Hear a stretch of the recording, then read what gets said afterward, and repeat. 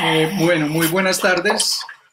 Un saludo pajarero desde Birds, Colombia. Esto se llama Charlas Pajareras, numeral Charlas Pajareras. Empezamos antier haciendo una charla contando la historia de Guardián de las Aves. Eh, ayer tuvimos el primer invitado especial que fue José Luis Puchaina, desde Camarones, de Boca de Camarones en La Guajira eh, fue una charla muy interesante con José, donde nos estuvo contando eh, toda su historia y toda la historia y todo lo que hay alrededor de, de la comunidad Wagyu. Hemos creado una programación que montamos todos los días, desde acá hasta el 26 de abril, donde, digamos, está programada esta cuarentena. Eh, hoy vamos a tener a Diego Emerson Torres, Ahorita se los vamos a presentar. Eh, mañana sábado vamos a tener a Rodrigo Gaviria, que va a estar acompañándonos seguramente desde Puerto Triunfo. El domingo 19 estamos con Ana María Castaño, La Rana. El 20 estaremos con Brian Coral desde Putumayo. El 21 vamos a estar con Paul Betancourt. Eh, luego tenemos el miércoles 22 Arnulfo Sánchez. Luego vamos a tener el 23 a José Castaño en Jardín, Antioquia. El 24 a José Luna. Eh, ampliamos hasta ayer, teníamos la programación ahí. Eh, ya conseguimos otros dos invitados. Bueno, adicionamos a Ana María Castaño, que teníamos pendiente el tema del domingo, que habíamos dicho inicialmente que no íbamos a hacer domingo, pero bueno, digamos que no podemos desaprovechar el tiempo y tenemos muchísima gente que quisiéramos tener en este espacio y la idea es luego continuar. Entonces agregamos dos más a la lista. El 25 vamos a tener a Mario Suárez Porras. Mario es un fotógrafo español, ganador de varias veces de los concursos más importantes de fotografía de aves que hay.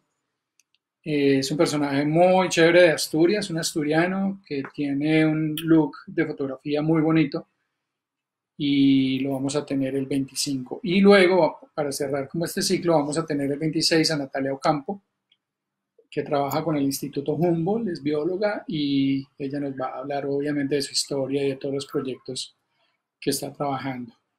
Entonces, bueno, ahí tenemos una nutrida programación pajarera para estos días. Estoy con Niki Carrera. Niki, hola. Hola, un saludo pajarero para todos los que nos están viendo. Ya tenemos más de 60 personas conectadas. Eh, como ya Marlo, eh, Mauro les dijo, eh, tenemos un ciclo de charlas pajareras, charlas muy informales. Vamos a hablar, vamos a hablar de pájaros, vamos a hablar de la vida de cada persona, qué están haciendo y cómo las aves a muchas personas le han cambiado la vida. Así que hoy estamos con Diego Emerson Torres. Diego Emerson eh, para los que no conocen a Diego, eh, Diego es muy conocido por ser el top trending en Twitter. Diego em, es conocido también por su humildad. Ah, hemos eh, querido tener participación en Twitter desde ayer y ya han habido unas personas que nos han dicho que quieren resaltar la humildad de Diego eh, porque siempre está ahí contestando las preguntas. Eh, ya Diego nos va a contar esa estrategia tan bonita que ha hecho y todo lo que ha logrado a través de Twitter. Nada, sin más preámbulos, aquí tenemos a nuestro amigo Diego. Diego Emerson Torres, bienvenido a Charlas Pajareras eh, y muchas gracias por aceptar nuestra invitación. Bueno, primero, buenas tardes a todos. Eh, me alegra ver muchos amigos, conocidos, pajareros aquí en la lista de los que van entrando. Primera vez que hago un Facebook Live, entonces también es un lifer. Siempre hay una primera vez, ok. sí, para todo, pero las participaciones en Facebook nunca las había hecho. Eh, les agradezco y los felicito por esta iniciativa, porque así nos vamos conociendo entre todos, vamos aportando ideas y se genera una comunidad un poco más cohesionada para que todos trabajemos en pro de las aves, que es como lo que nos une en esta tarde. Sí, de acuerdo. La idea de este espacio es un espacio muy relajado, un espacio de charla, una tertulia, una conversa, que la gente nos haga preguntas, los que quieran eh, irnos eh, haciendo preguntas, eh, acá Niki va a estar muy atenta a todas las preguntas, a saludar a todas las personas que hay conectadas. Entonces, nada, para empezar, Diego, pues vámonos al principio. A mí me gusta conocer siempre las historias desde el inicio. Entonces, me gustaría saber, devolvernos a tu infancia, a tu niñez, y que nos cuentes quién es Diego Emerson Torres, dónde nace, cómo es su infancia, cómo es su familia. Cuéntanos un poco de tu entorno, por favor. Bueno, claro, con mucho gusto. Em, soy el segundo de tres hermanos. Nací aquí en Bogotá. Mi papá es de Cartago Valle y mi mamá es de Belalcázar Caldas. Nosotros los tres hermanos nacimos aquí ya en Bogotá. Em, pues nacer en Bogotá es nacer alejado de la naturaleza, porque siempre he vivido en conjuntos residenciales, siempre he vivido rodeado más de cemento que de naturaleza. Nací en el Hospital San Ignacio en la década del 70. ¿Qué más les cuento? No. Em, toda mi infancia transcurrió normal, pienso yo, nada de sobresaltos.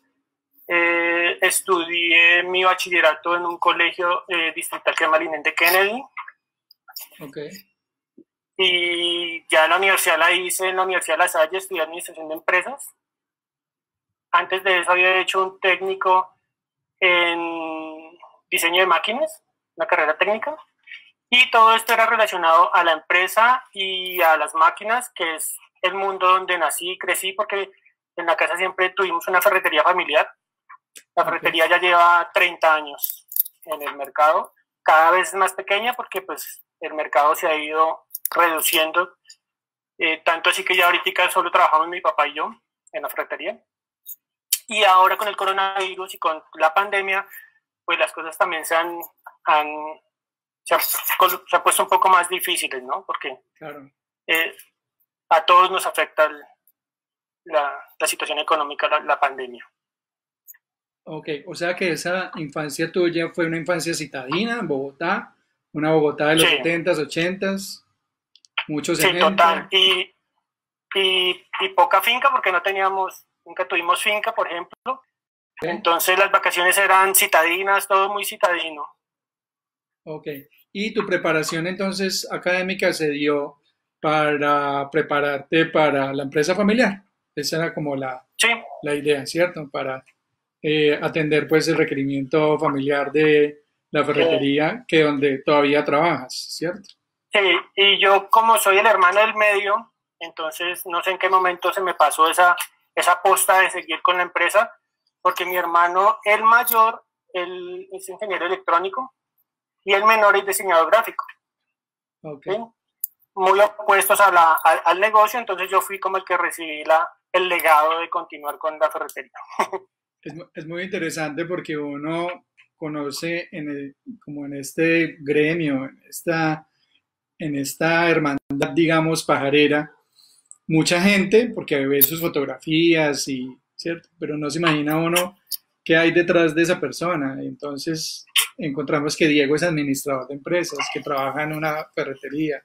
Eh, mucha, ¿Cuánta gente no creerá que eres un biólogo, que eres, eh, bueno, digamos que es un tema bastante interesante. Y también vemos, Diego, algo muy importante y es que pues tú has sido invitado a varias universidades a hablar de la relación entre las redes sociales y las aves. Eh, por eso también estamos hoy aquí contigo porque sabemos que has hecho una tarea muy bonita. Eh, como decía yo anteriormente, en este momento, por ejemplo, yo estoy conectada en Twitter y los piropos que le echan a Diego, de verdad que son eh, muy basados en, tu humildad, eh, en que siempre estás ahí para resolverle las preguntas a la gente. Para los que nos están viendo, uno no cree, pero Twitter es una fuente de inspiración para muchas personas. Siento que ha sido también un agua fresca en estos momentos de pandemia eh, mucha gente activa en Twitter, mucha gente compartiendo fotos, mucha gente haciendo preguntas y, es muy chistoso porque pues uno también ya va sabiendo quiénes son los que comparten información, quiénes que son los que de pronto saben un poco más y nos pueden responder. Entonces, eh, muy, muy bacano todo lo que has hecho. Cuéntanos en qué lugar estás ubicado en este momento y cómo empezaste a pajarear o con el tema de la fotografía de aves. Bueno, ahorita estoy aquí en Bogotá. Vivo en el sector de Palo Quemado y la ferretería está en el mismo sector. Entonces mis desplazamientos son cruzar la calle y ya estoy en la ferretería.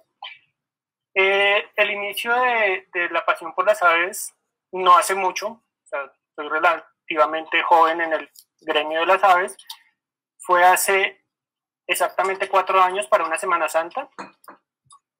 Eh, la historia comienza antes de eso con un libro de parques nacionales naturales de, de Villegas Editores. Y con mi esposa íbamos revisando qué parques nacionales queríamos conocer. Entonces fuimos al Cocuy, caminamos, en ese tiempo se podía hacer cumbre, eh, estuvimos en Iguaque, por ejemplo, estuvimos, aunque Chicaque no es un parque nacional, pero también visitábamos mucho Chicaque. Y comenzamos a hacer como un listado de parques que queríamos conocer. Y en el libro aparecía el santuario de flora Otunquimbaya.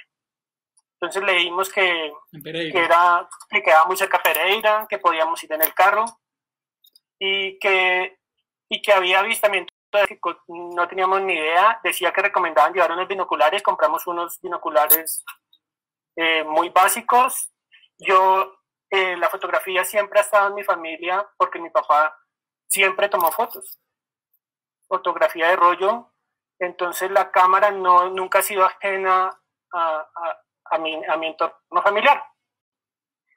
¿Y, en qué iba? Eh, bueno, llegamos a Tunquinvaya, yo, yo tomaba fotografía de paisaje, fotografía general, y nos dimos cuenta de que, de que lo Tunquinvaya gira en torno a las aves.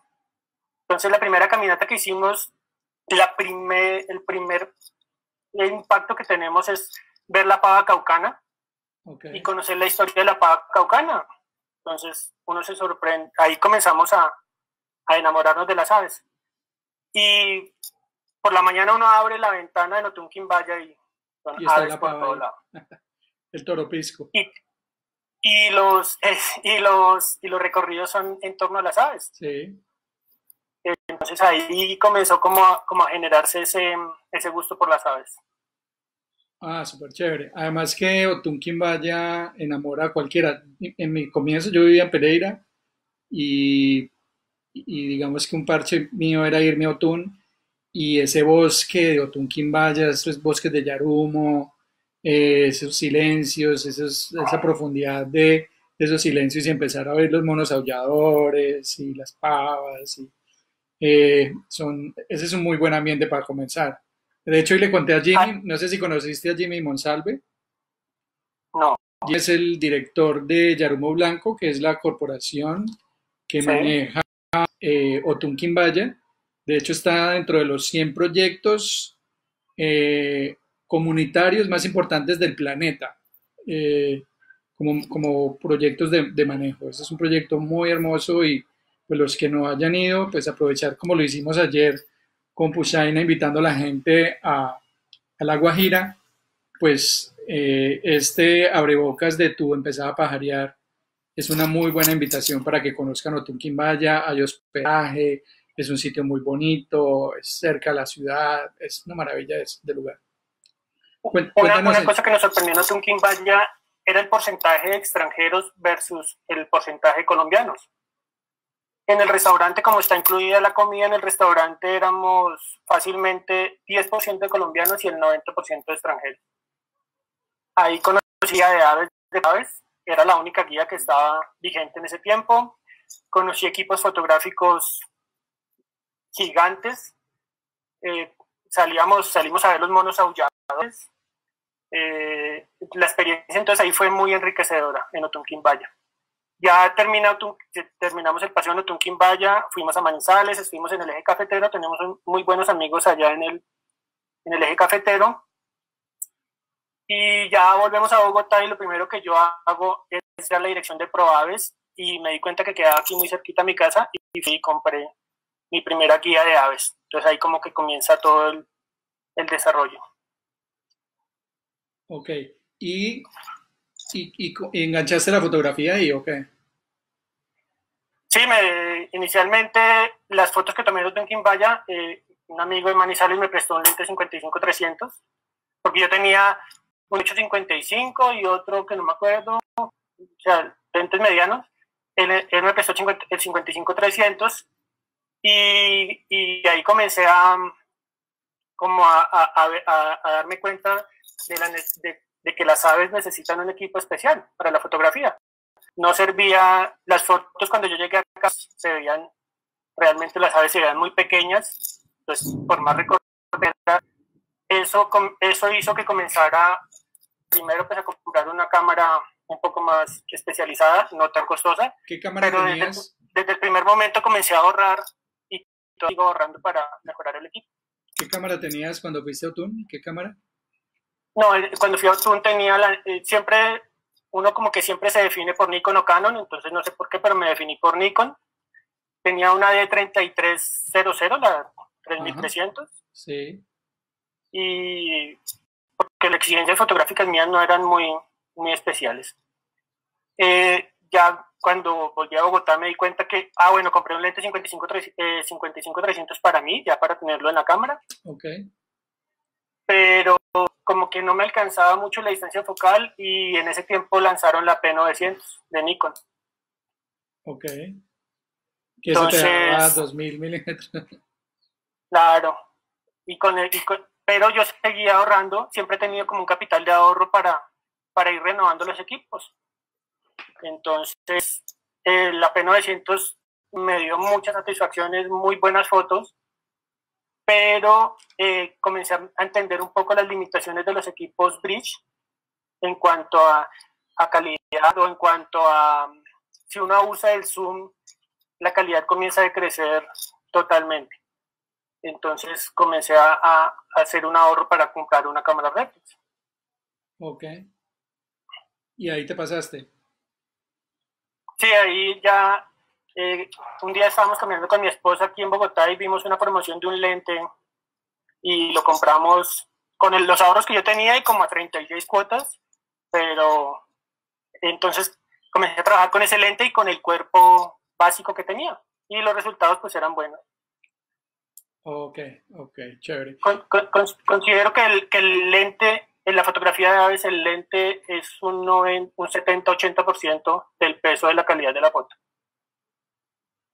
Claro, la, las distancias que manejamos siempre, en la medida que te acerque más, pues obviamente siempre vas a estar con una mejor opción de tener el, el, el, pájaro, el objetivo, ¿no? Y, y desde que comenzamos con mi esposa, yo me decanté más por la fotografía de aves y ella se decantó más por la observación de aves. Entonces conseguimos unos binoculares para ella y yo seguía haciendo fotografía. Vos sos el fotógrafo y ella es la pajarera. Eso, así literalmente, sí. Bueno, queremos mandarle saludos. Tenemos mucha gente conectada desde La Guajira, tenemos gente conectada desde el Reino Unido, Manizales, Israel, Guaviare, Envigado, en La Estrella, Antioquia, en Barcelona, Quintío. Eh, está, tenemos eh, a Diego Calderón, a Jair Molina en Ibagué. En Bahía Solano tenemos a Julián Parra, a la nana Yolanda Sánchez en Ibagué, a Brian Coral. Bueno, tenemos muchos seguidores acá eh, que nos están viendo desde, desde Valle, desde Pereira, desde Anorí, Antioquia, eh, desde Popayán, bueno, tenemos eh, muchas personas que están acompañando. Muchos fans seguidores. Muchos fans también seguidores de Y tenemos un dato muy curioso. Eh, Diego tiene 27.095 seguidores en Twitter. O sea, es un montón de gente. y como todos saben, y los que no, uno tiene la opción de fijar una foto eso creo que lo tienen todas las redes sociales. Y Diego tiene una foto fijada de un colibrí en donde él pone una frase que logra capsular un arcoíris en el colibrí. esta foto tiene 74.500 likes. Háblanos un poquito de esta foto tan especial, porque pues eh, a pesar de, todos estos seguidores, eh, de esos fans también, una frase que dice, qué triste sería el bosque sin el canto de las aves. Entonces, ¿cómo has podido, por ejemplo, unir esa frase tan bonita con la fotografía? Bueno, eh, para, para, comenzar a hablar de Twitter, em, les cuento la historia. Yo tenía mi cuenta desde el 2008 y igual que tenía mi cuenta en Instagram, igual que tenía mi cuenta en Flickr, igual que tenía mi cuenta en Facebook.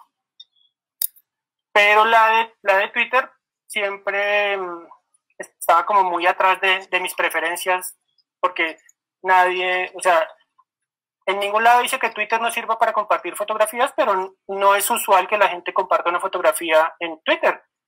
Uno, uno comparte una fotografía en Twitter y la gente inmediatamente le dice, para eso está Instagram. No, use Twitter para eso. Entonces, un día recibí una invitación eh, para participar en un spam. Los spams en Twitter em, son como una especie de cadena de, de, de tweets con un tema específico y lo que pretende es que ese, ese tema se vuelva viral y que más gente vea el, el tema del que se está tratando. El spam era de colibríes colombianos, o sea, numeral colibríes colombianos. Y mandé, pues como me invitaron, comencé a, mandé tres, cuatro fotos de colibríes y ahí comencé a, a detectar que ya había mucha gente de naturaleza que estaba en Twitter y comencé a depurar mi lista de, de a quién seguía yo y comencé a seguir gente relacionada con naturaleza, con fotografía, con biología y todos los temas relacionados con, con conservación de naturaleza. Para tener el hilo, ¿eso cuándo fue? Eso fue, lo debo tener por ahí hace dos años, dos, años, y medio. Ok. Y mi cuenta, pues una cuenta normal, o sea, yo no tenía, pero la foto que, de la que habla Nicky fue una foto que subí como cualquier otra foto, o sea, no, sin ninguna, incluso no, no puse ni nombre científico, ni nombre genérico, ni nada, sino me pareció que, que había quedado bonito el, el Bonaparte y lo subí. Y ahí fue cuando descubrí lo que es la viralidad de algo. La foto se volvió viral. Viral es que de un día para otro pasé de tener 100 seguidores a tener 5.000 seguidores. Sí, increíble. Eh, tuve que desactivar las notificaciones porque eso no, no da, o sea, no paraba de... Hoy en día la foto, una cosa son los likes, o sea, la, gente que le gusta, y otra cosa es la, las, impresiones, o sea, la cantidad de gente que la ve. No importa si le da like o no le da like, las impresiones, o sea, el alcance de la foto, hoy en día, hoy la miré para la charla y está ya casi llegando a los 3.800.000 personas que han visto esa foto. 3.800.000 personas, qué locura. Y uno como fotógrafo siempre quiere que, la, pues que, la, que las fotos de uno la gente las vea. Claro. Y, y, 3.800.000 se dice fácil, pero es mucha cantidad de gente la que, la que ha visto la foto. Tú, tú tienes ahí, Emerson, tú tienes, nos puedes compartir ahí ah. pantalla y nos puedes compartir la foto para que... Pues, ah, sí, para los que no... Seguramente muchos para los que no tienen Twitter, porque sé, sé que mucha gente no tiene voy a compartir la pantalla porque no sé cómo. Sí, comparte pantalla y ahí puedes compartir la foto si la tienes ahí a mano. Ah, me dicen si, si la pueden ver.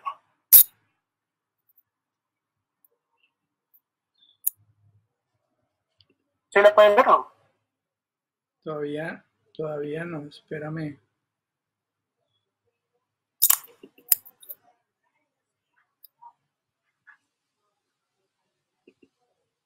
Si volvemos y lo intentamos. Si vuelve a intentar otra vez.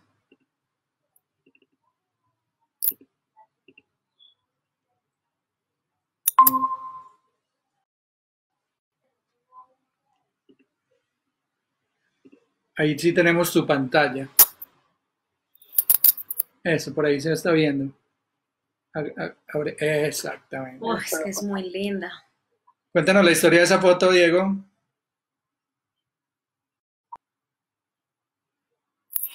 Sí se ve, sí. Sí, perfecta. Cuéntanos la historia de esa foto.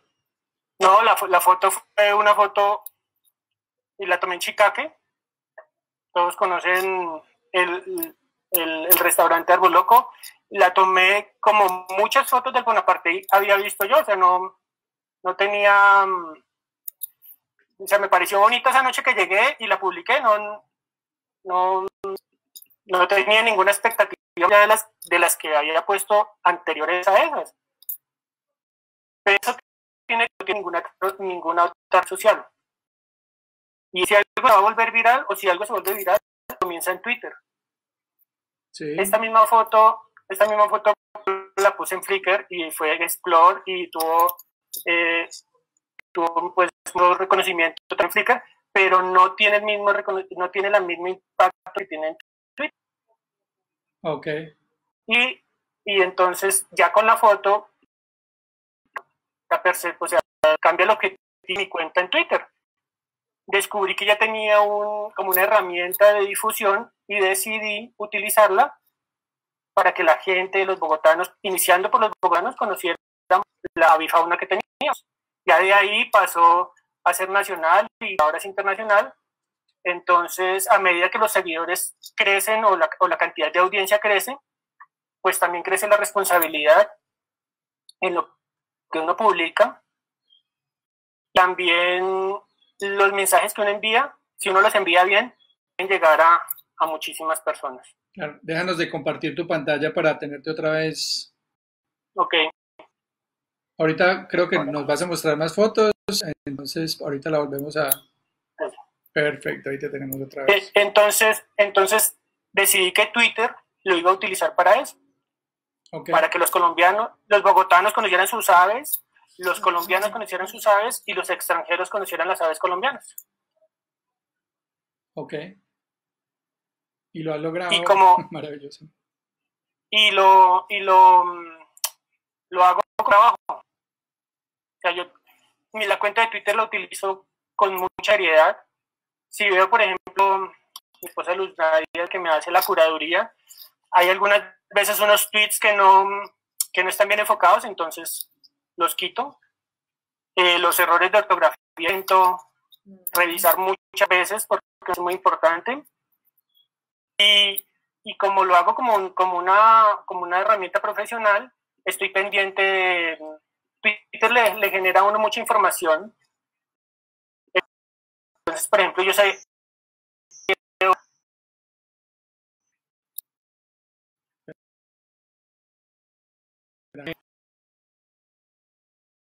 Pantalla. Esperamos a veces esa tecnología nos atropella.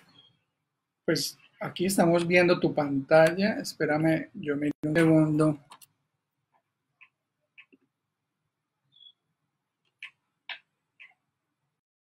Pero es que veas vos y no que nos veamos nosotros. Porque ya, aquí yo ya dejé de compartir. Eh, bueno, bueno, no sé si ahí ya... Bueno, sigamos, sigamos, qué pena. No, no, no. Eh, entonces, eso es lo que hago, utilizar Twitter para ese objetivo y la cuenta de Twitter la, la utilizo única y exclusivamente para mostrar las aves colombianas. Ok, ok. ¿Cómo has hecho? Bueno, ya nos contaste que, que llegaste a seguidores o que este número de seguidores. ¿Qué estrategia has desarrollado para seguir aumentando tu alcance? Primero, no, no desviarme, no tocar temas políticos, no tocar temas religiosos, no tocar eh, temas de que generan mucho, mucho deseo de, de, de meterse con ellos. Entonces, intento estar ajeno a, a participar en esas en, o meterme en esas discusiones. Porque lo que ustedes decían ahora al inicio, uno recibe, los, uno recibe la retroalimentación de las personas. Entonces, descubrir que una encuentra un encuentra en el Twitter una forma de, de alegría, eso hace que uno como que la cuenta hacia allá. Ok. Espérate, Diego, que no entiendo. Eh, estamos estándonos en Facebook Live nosotros también esta semana. Y con la compartida de pantalla se nos quedó. foto que ah, pero en Facebook, sí. Es que nos están diciendo que no, que no pudieron ver tu foto. Entonces, nos gusta. Entonces no compartamos la pantalla. Sí, como bloqueado. Sí, no, más bien no compartamos pantalla. Sí, porque creo que esta sería la primera, el primer intento de compartir pantalla, ¿cierto? Sí, de acuerdo. Entonces, nada, estábamos en Twitter, eh, volvamos otra vez a recapitular ahí el tema. Eh, sí, no, entonces em, la cuenta de Twitter la manejo con mucha seriedad, con, intento ser muy eh, coherente con, con, las publicaciones. cuando yo ya llevo un tiempo en Twitter, comencé a ver que comenzaron a llegar nuevos fotógrafos de naturaleza. Ya existíamos algunos, pero el, el círculo se ha ido fortaleciendo. Eh, personas, por ejemplo, como Memo, Memo Gómez, ya descubrió la magia de Twitter y me encanta que Memo haga un trabajo de, de concientización ambiental, de preservación, de conservación. Entonces, a ese trabajo está Memo a la cabeza de, él. Y, poco a poco la gente ha ido entendiendo que Twitter es tan bueno o tan malo como uno lo, lo maneje y como uno lo, lo configure. Si uno configura o si uno sigue gente conflictiva, gente que le gusta la pelea, pues eso va a tener en su timeline. Si uno sigue personas con, con sus gustos particulares, pues tiene muy buena experiencia en Twitter.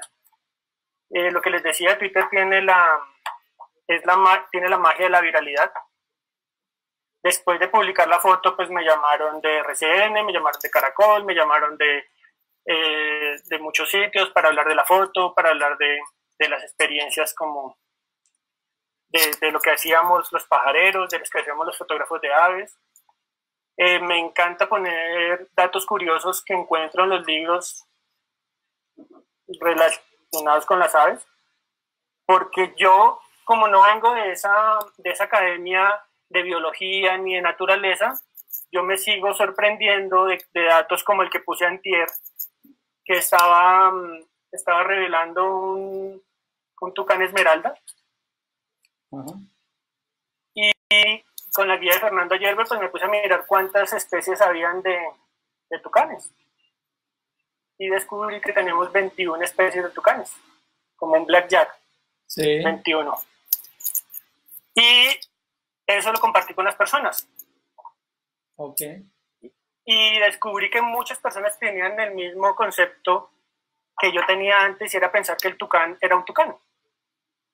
Existía un solo tucán en Colombia o en el mundo que el tucán era el tucán.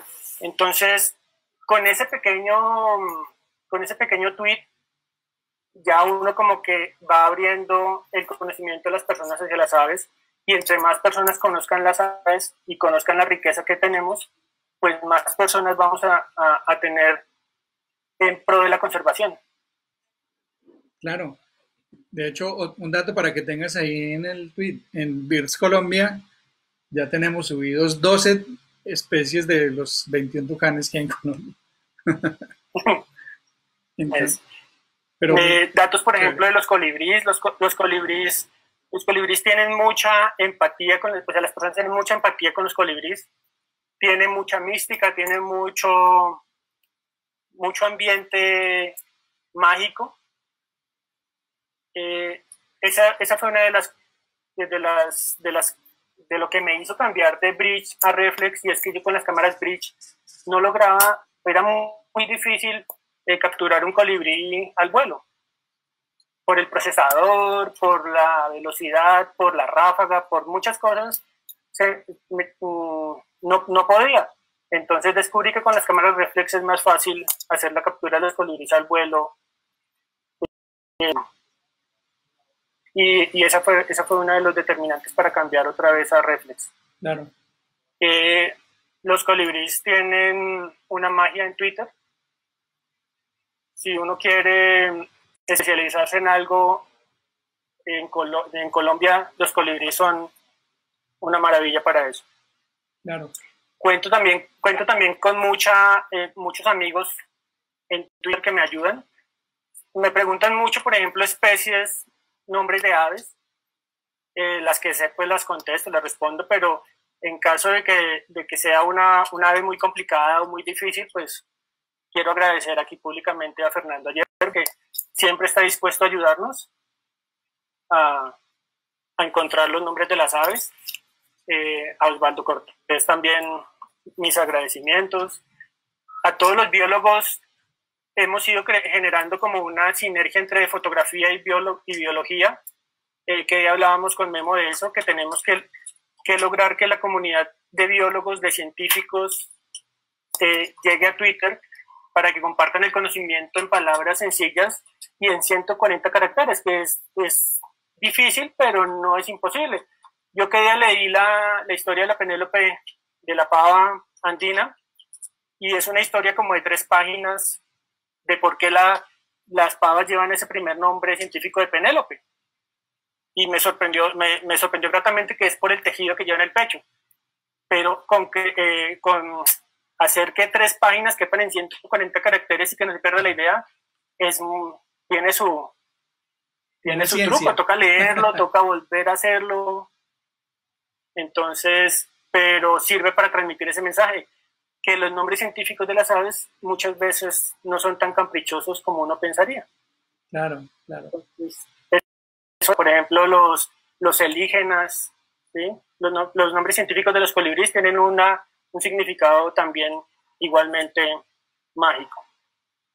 Muy interesante. Vos en Twitter eh, estás publicando todos los días. ¿Cómo es tu rutina de publicaciones?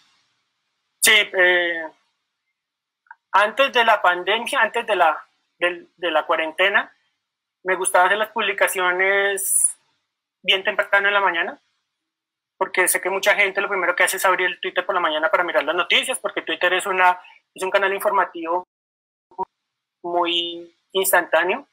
Entonces, igual para las peleas políticas, es un canal fabuloso. Entonces la gente está leyendo noticia, pelea, pelea, noticia, pelea y ¡pum! aparece un colibrí. Entonces eso, cambia como la...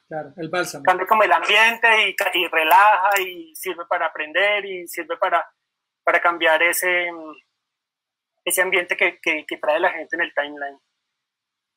Ahora con la cuarentena he tenido más tiempo, entonces he buscado fotos viejitas, he buscado fotos con otras referencias y ya lo hago a cualquier hora, cuando me queda tiempo.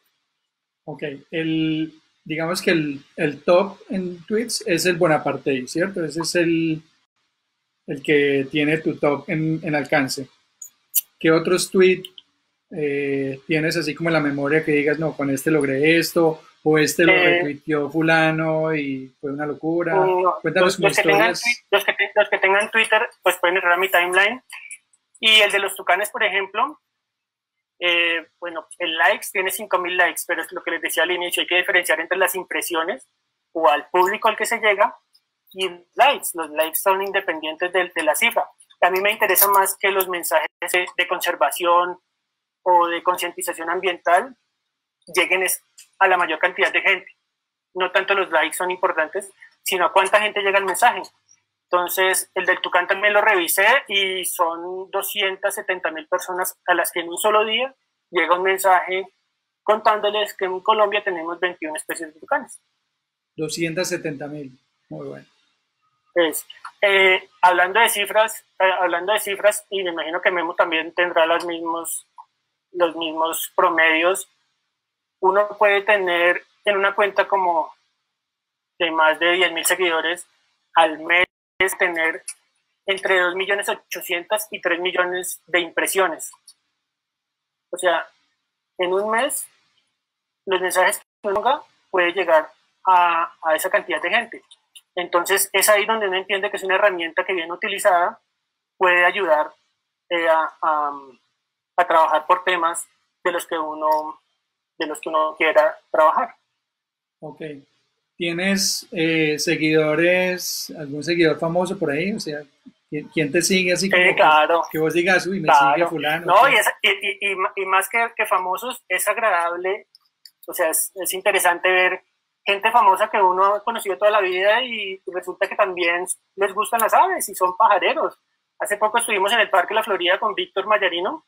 Sí.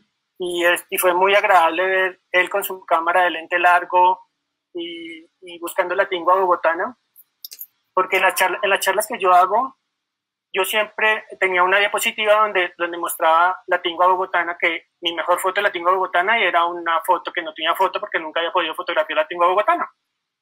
Y el consejo para los fotógrafos en, en esa charla era que no se obsesionaran con, con, tener todas las especies de todas las aves, porque llegará el momento en, en que aparezcan. O sea, no había problema. La tingua bogotana la he perseguido por todo, pues uno bogotano y la tingua bogotana, soy miembro de la Asociación Bogotana de Ornitología, el, el logo símbolo es la tingua bogotana y cuatro años y no la había podido fotografiar. Entonces, en diciembre Osvaldo me dijo, vamos y vamos a, a chulear ese, ese lifer. Y fuimos al, al, parque, fuimos con Jaime Andrés, Osvaldo, y fuimos al parque La Florida y logramos fotografiar la tingua bogotana. Después fuimos con Víctor y también la logramos ver y la logramos fotografiar. Entonces, interesante.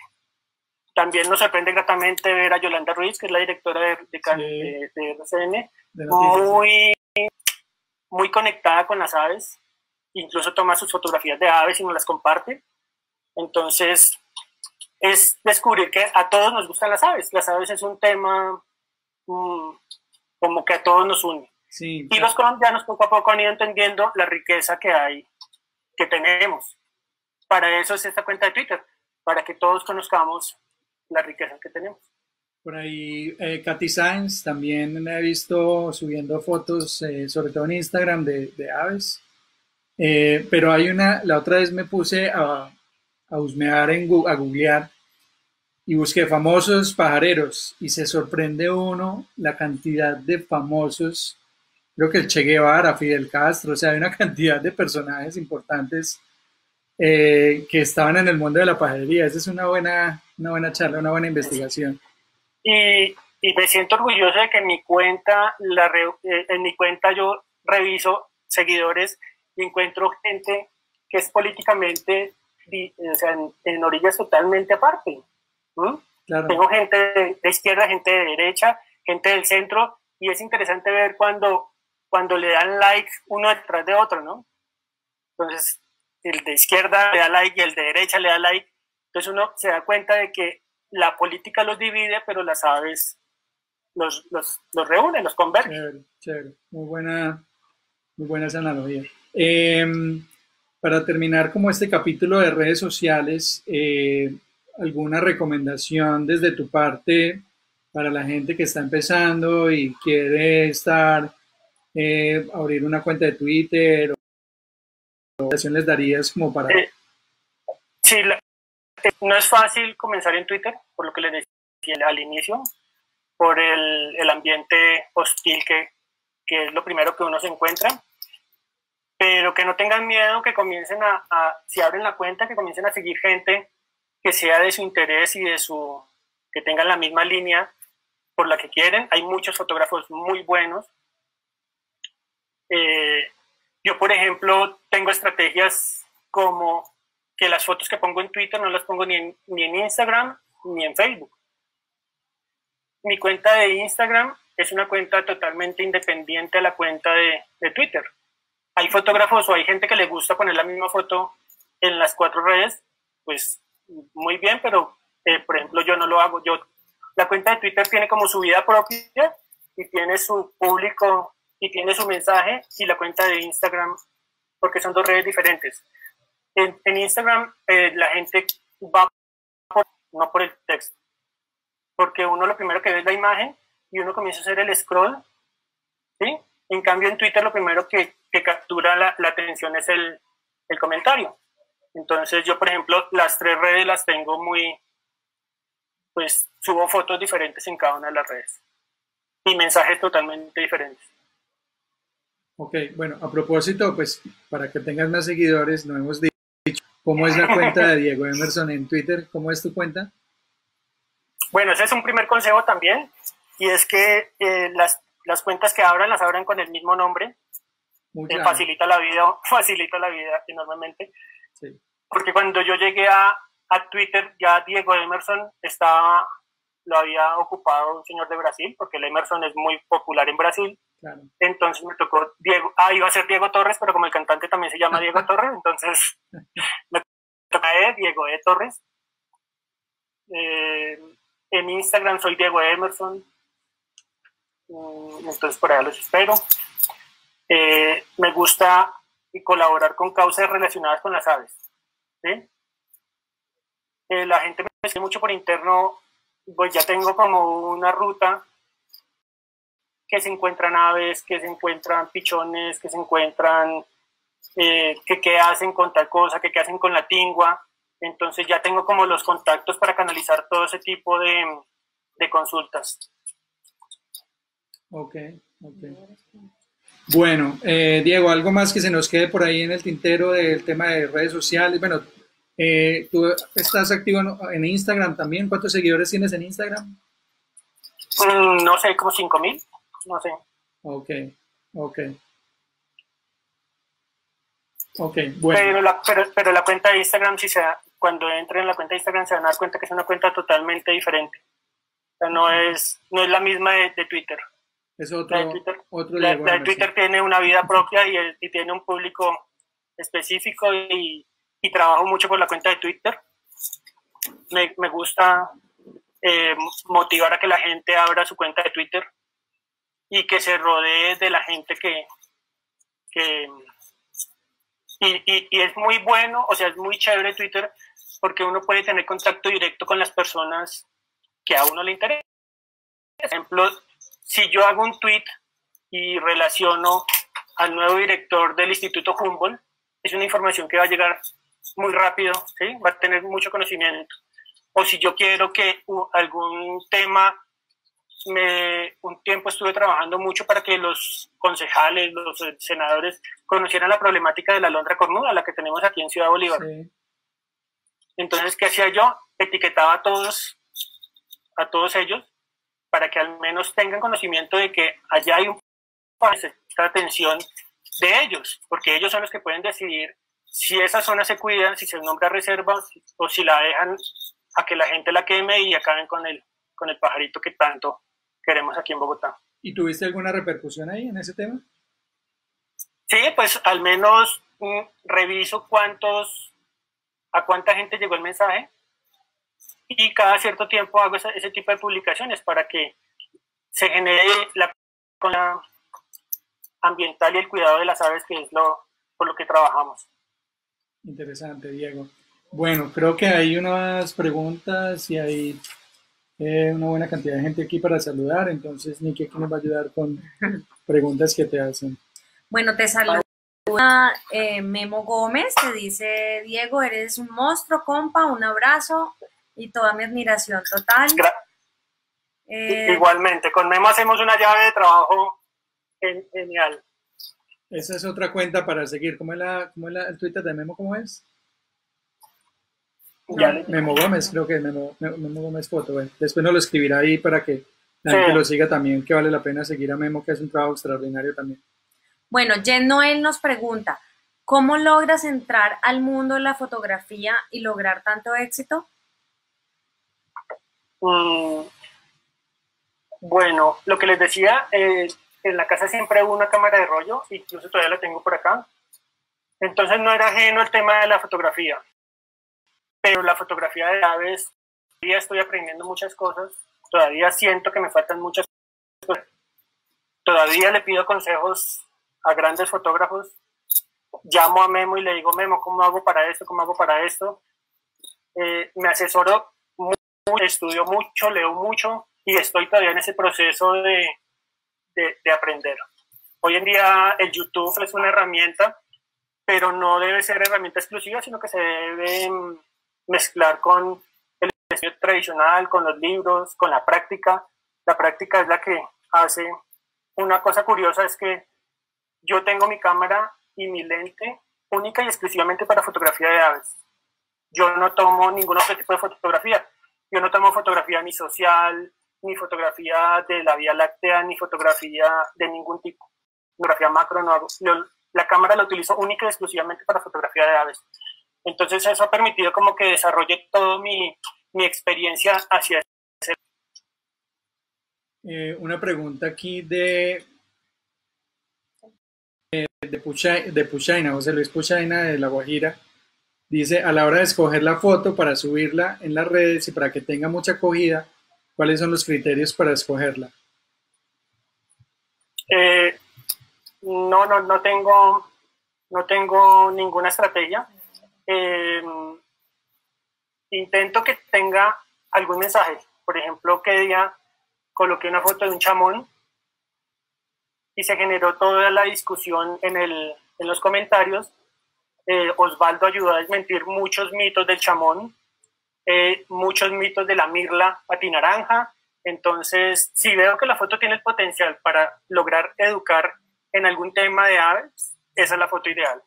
Aunque muchas veces intento hacer algo gracioso, dar un dar una cifra curiosa, dar algún algo que, que rutina, porque si uno utiliza hace un tiempo, hace por ahí un año, dos años, los fotógrafos de aves que estábamos en Twitter, eh, volvimos una, una tendencia, una moda a hacer conversaciones con las aves.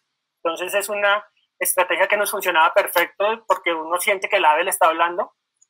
Eh, todavía la utilizo, pero ya no la utilizo con la misma regularidad. Intento diversificar los temas para que, para que sea una cuenta pues agradable para todos. Camila Fuentes Pinto nos pregunta, ¿Cuáles instrumentos básicos puedo usar para, para realizar un proyecto de fotografía de aves con mis estudiantes de bachillerato? Bueno, ahí hay que comenzar a diferenciar entre el observador de aves, el fotógrafo de aves y el pajarero. Eh, para la fotografía de aves, eh, hoy en día se utiliza mucho y como es un grupo grande, es recomendable usar un telescopio y un celular y hacer el, el famoso digiscoping, que con una sola inversión eh, se pueden ir pasando los estudiantes e ir viendo lo que, lo, que, lo que están viendo o grabarlo en un celular. Esa es como la, la forma más adecuada para hacer un, un, ejercicio de fotografía para mucha gente. La, el, el digiscoping, que es los, los telescopios terrestres con el, con el celular. Ok, Diego Martínez nos pregunta y también por ahí nos preguntan acerca del lente, entonces vamos a hacer dos preguntas por una. ¿Qué, actualmente qué cámara tienes y qué objetivo utilizas? E, ese es un... Allá está. Ayer también llegó a esta misma hora el turpical aquí a la casa. Eh, considero que, la cámara que tengo ahorita es una cámara eh, de gama media, Estoy utilizando un lente Nikon 200-500 f5.6. Es como el lente mm, que tiene Nikon para iniciar esa gama de teleobjetivos, el 200-500. Y tengo una cámara, eh, una viejita cámara D7200, y esos son formatos de X. El formato de X, a diferencia de los formatos full frame, hacen que mi lente de 200-500 tenga un factor de multiplicación y se vuelva un lente casi de 700 milímetros. Entonces, ese es el, equipo que tengo. Eh, estoy todavía, sigo ahorrando para, para mejorarlo y, tener como un, como un paso más adelante en equipo. Porque yo soy de los convencidos de que el equipo, eh, la inversión del equipo debe reflejar la calidad de la foto. Si yo llego a mejorar este lente, mi fotografía tiene que mejorar también, porque ese es el objetivo del, equipo, eh, explotarlo al 100% o al 120%. Me encanta ver eh, las personas con, con, cámaras bridge que las explotan al 120%. Uno ve la fotografía y uno no cree que haya sido con una cámara bridge. Ese es el objetivo de, un buen fotógrafo. Que el, que, el, que el equipo que da un 100%, uno logre sacar el 120% en una fotografía. Súper. Paola Reyes eh, tiene una pregunta. ¿Qué objetivo recomiendas para iniciar en la fotografía de aves? Bueno, he descubierto que Canon, eh, bueno, si uno se decanta por Canon o por Nikon, Canon tiene un vacío de lentes entre unos, eh, mm, digamos, 100, 400 y ya 600. Hay como que, que Nikon eh, cubre con el 200, 500. los Sigma y los lentes Tamron, los 150, 600, que sirven para ambas marcas, es como el objetivo mm, más recomendable para ambas, marcas. Y hay gente que le gusta mucho el Sigma, hay gente que le gusta mucho el Tamron. Eh, son, son lentes que, requieren una inversión de dinero, pero que su vida útil es muy larga. Uno puede cambiar tres veces el cuerpo de una cámara y funciona perfecto. Pero la inversión inicial tiene que ser por el lente. No se preocupen por el cuerpo, sino por el lente. El lente es el que da la calidad de la imagen. Marianelli Medina nos pregunta, ¿qué tan económicamente rentable son las redes sociales? Entiendo yo que seguramente eh, con todo este auge que tú has tenido, ella quiere saber si es económicamente rentable. Sí, sí, gano plata con esto. Eh, no. No, o sea, las redes sociales, bueno, les cuento, como les contaba al inicio, yo trabajo en una ferretería de lunes a sábado. Entonces, los domingos, cuando voy a pajarear y a tomar las fotografías, no lo hago con el objetivo económico de vender las fotos, de vender las fotografías. ¿Sí? Es el momento en que me desconecto de todo, no pienso en deudas, no pienso en cuentas, no pienso en nada, sino que los pajareos uno a un ambiente. Mm, esa es la recompensa. Las fotografías no las tomo para ni para venderlas ni para generar ingresos, aunque cuando uno ya tiene una cantidad de seguidores importante, eh, lo comienzan a contactar para, para hacer campañas de algo. Pero como dato curioso, el número de seguidores más importante es el de Instagram. Cuando uno tiene más de 10.000 seguidores, yo ya he hecho algunas campañas de, de redes sociales, pero pues me ha gustado hacer campañas que tengan que ver temas relacionados con naturaleza. Eh, curiosamente, pues no he vendido muchas fotos eh, como uno quisiera, pero la curiosidad es que mm, antes de comenzar la, la, cuarentena, vendí una foto y, eh, y, y, esta foto me ha servido para mantenerme económicamente estos días porque no he tenido ingresos porque la ferretería está cerrada, entonces si no hay venta, pues no hay ingreso. Eh, pero esa fotografía se la vendí a la Universidad de Chicago y como el dólar está a 4 mil algo, entonces pues ha servido para, para llevar estos días de cuarentena. Qué bueno, Dieguito. Nos pregunta Lina Rojas, ¿qué programa utilizas para hacer el revelado? Bueno, que día hice una charla y explicaba yo que una cosa es revelar y otra cosa es editar. Nosotros los que ya tomamos fotografía con cámara de reflex, la tomamos en formato RAW y en los RAW hay que revelarlos o revelarlos. Entonces yo aprendí y por capricho siempre, solo únicamente utilizo Photoshop. O sea, yo revelo en cámara RAW y lo que tenga que editar lo edito en el mismo Photoshop. Nunca logré cogerle la maña al Lightroom, pero los que, los que piensen comenzar en fotografía, el Lightroom es la mano derecha de los fotógrafos. Pero yo no, no pude con Lightroom, entonces solo revelo y edito todas mis fotos en Photoshop aunque Jaime Andrés Herrera me ha intentado llevar al lado del, del Lightroom y una vez me hizo un curso toda una tarde, no he podido con el Lightroom. Viviana Katamuskai nos para fotografiar aves, ¿no se puede usar un celular? Eh, exclusivamente el celular no, aunque esta semana o, la este mes, este año lanzaron un Samsung que tiene 100x en el, en el zoom me contactaron, creo que es el N20, si no estoy mal, y me contactaron de Samsung para ir a hacer unas pruebas para ver si esos, si esos teléfonos con, con toda esa cantidad de aumentos funcionan para fotografía de aves.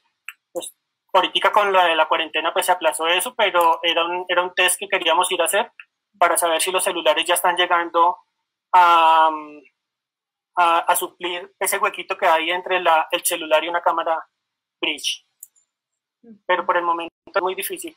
Funcionan perfecto para grabar videos, Por ejemplo, cuando uno va por la calle y ve un colibrí libando en las flores, en vez de intentar tomarle una foto, queda más bonito tomar un video. De acuerdo. ¿Y sirve para los Digiscope? Con los Digiscope están haciendo fotografía para... Y hoy en día los celulares son celulares de muchísima resolución, entonces funcionan muy bien para los videos con el Digiscope. Ok. Daniela Calderón Rodríguez nos pregunta, ¿la foto que tienes en Twitter fija del colibrí, la esperaste y la planeaste durante mucho tiempo? No, no. Sería mm, falso montar todo un, un, No, no, la tomé como, como otra más de las que había tomado.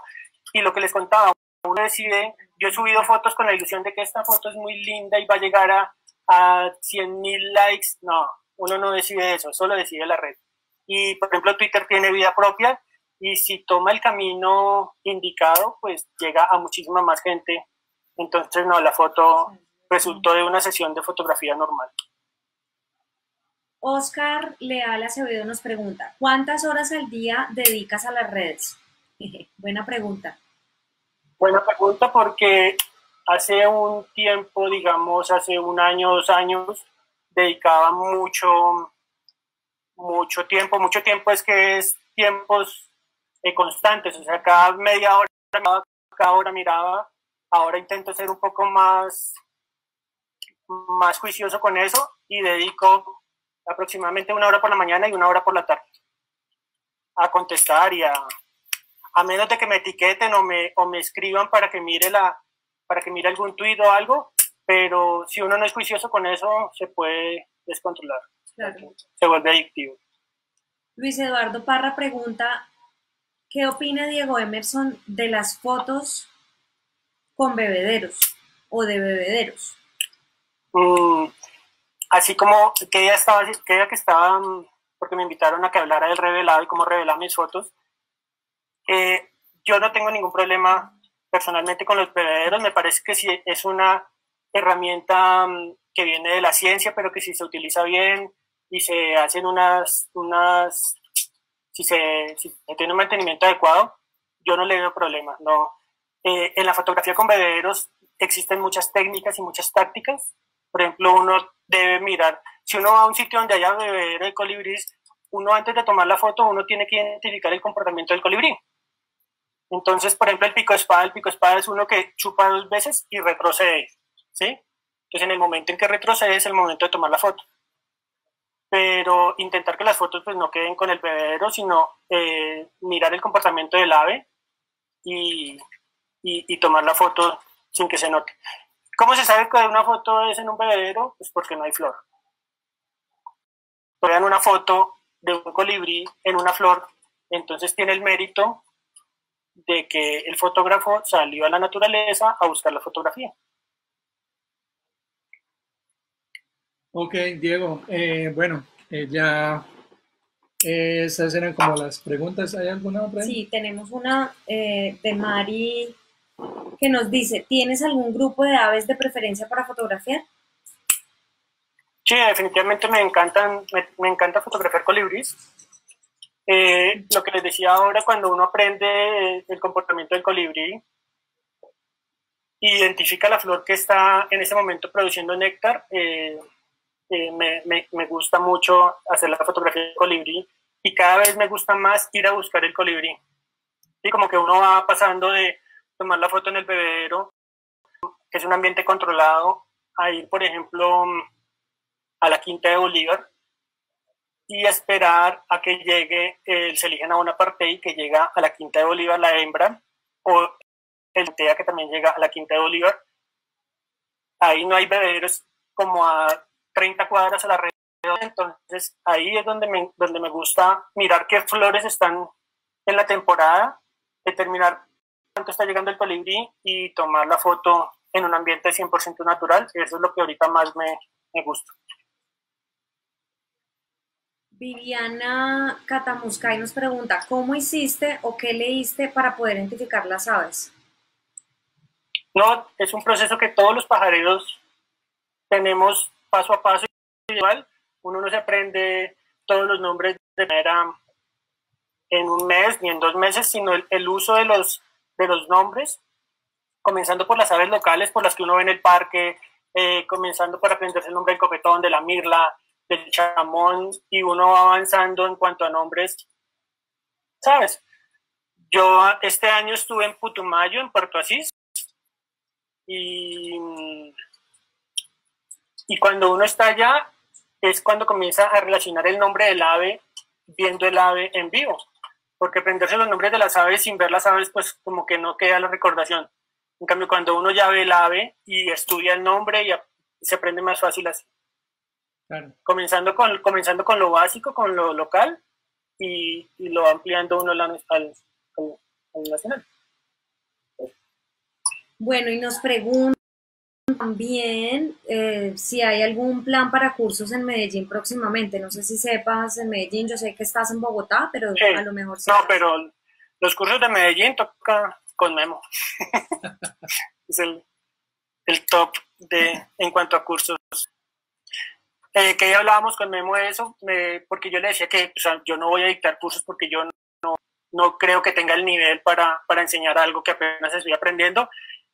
Me animaba diciéndome que uno puede enseñar lo poquito que sabe o lo mucho que sabe. ¿sí? Entonces, mm, no tengo de, ningún tipo de cursos, pero sí me gusta enseñar lo poquito que sé. Chévere. Diego, eh, pues muchísimas gracias por contarnos tu historia, por compartirnos toda esta información valiosa. Eh, hoy día la tecnología, las redes sociales hacen parte de nuestra vida, hacen parte de nuestro día a día, influyen cada vez más en todo lo que hacemos, eh, nos alegran, nos entristecen, nos cuentan buenas noticias, malas noticias, noticias falsas, de todo. O sea, tenemos una cantidad de, cosas que discernir ahí. Entonces, nos encantó compartir contigo este, esta hora, eh, segunda charla pajarera contigo.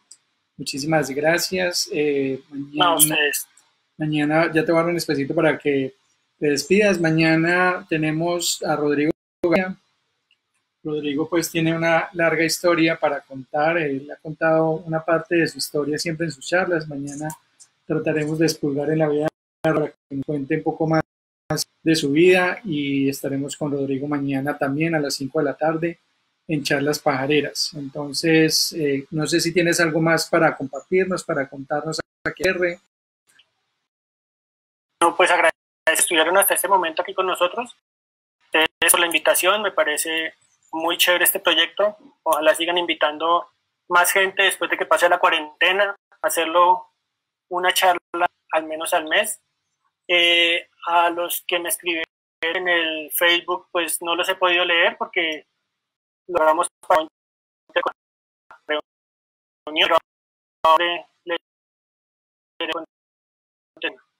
a los que pueda. Y muchas gracias por, por la invitación eso decir, eh, de pronto nos quedaron una que otra preguntita eh, por resolver, que a última hora Chévere que les puedas responder a los, a los que están haciendo las preguntas y de pronto hay otras que se repitieron, entonces pues ahí tienes para que le dediques un poquito de tiempito a todos para esas preguntas. Eh, muchas gracias a todos los que se conectaron. Como dijo Mauro, seguiremos en este ciclo de charlas pajareras. Esto es pues más parche, es estar aquí con nosotros entre, entre todos y también acompañarnos en esta cuarentena que de pronto también hace mucha falta. Y mi intención con esto, con este ciclo de charlas, es dar a conocer, ya vendrá el ciclo de mujeres también, muy interesante. Y esto pues obviamente no para acá solamente en queremos que sepan que cuando esto acabe seguiremos con este ciclo de charlas. Entonces ahí estamos conectados. Gracias a todos los que nos ven, gracias a todos los siguen. Eh, un saludo pajarero para todos ustedes y un saludo muy especial para ti, Diego. Un abrazo. Eh, mismo. Chao. Pedir una disculpa por la, por la interrupción, por el, la, la Ya estuve leyendo comentarios y vi que la foto que supuestamente compartimos no se compartió. En la foto, pues, para ver que no la hayan podido ver, está muy recomendada. Pueden entrar al Twitter de Diego, que la tiene de primera, fijada de primera en su Twitter, o yo la acabo de compartir en Facebook de Virs Colombia, la acabo de subir y la acabo de entonces ahí está la foto para que la vean, la del la del Bonaparte. Entonces, pues bueno, ahí vamos mejorando tecnológicamente. Ahí vamos aprendiendo. Un abrazo, Diego. Muchas gracias. Gracias a todos por conectarse y nos vemos mañana con Rodrigo Gaviria aquí en Charlas Pajareras. Chao. Chao.